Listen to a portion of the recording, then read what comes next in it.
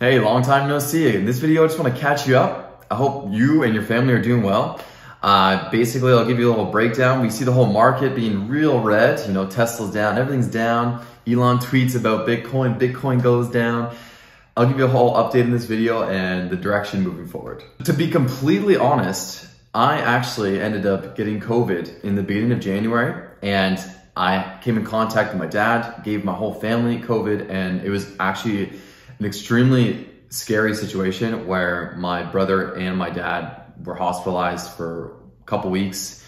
It was a really, really scary moment. They almost had to be put on ventilators. They had to go on remdesivir.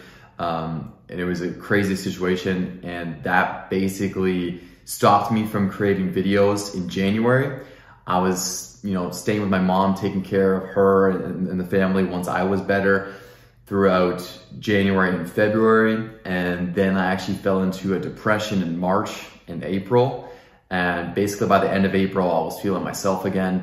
It was a combination of issues, but uh, the whole moral story here is the whole family's well, everyone's well. So I'm extremely grateful for that. And uh, everyone's doing good on, on that front. So basically what happened after that was I was trying to figure out where I wanted to focus and um, you know I stuck to my business and didn't really get back into routine of po posting videos because of all those those months that went by. And now we see the market really continuing to sell off. So I'll give you a little personal update on, on my front. Basically, my I topped out at 1.6 million and now I'm sitting about $800,000. So basically the portfolio is, is halved from the peak. So if you're down money, it's all good. We're all down money. Uh, I, I, plan on holding. I'm holding all my Tesla shares. I did sell cryptocurrency. I was trading some cryptos, and that's basically just how hold cash. So you know, I'm, I'm comfortably holding eighty thousand in cash. The rest is essentially in Tesla and a little bit in real estate. And I just plan on holding that. I was trading throughout the past few months, took some big losses, $100,000 losses, and got rid of all my margin, thankfully, just before these past few weeks.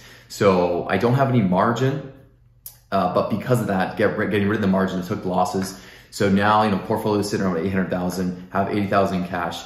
Uh, putting a pause on trading for a while. Give this video a thumbs up if you really appreciate it. Thanks so much for watching and, and the continued support. I, I really appreciate it. And we're to go along the day.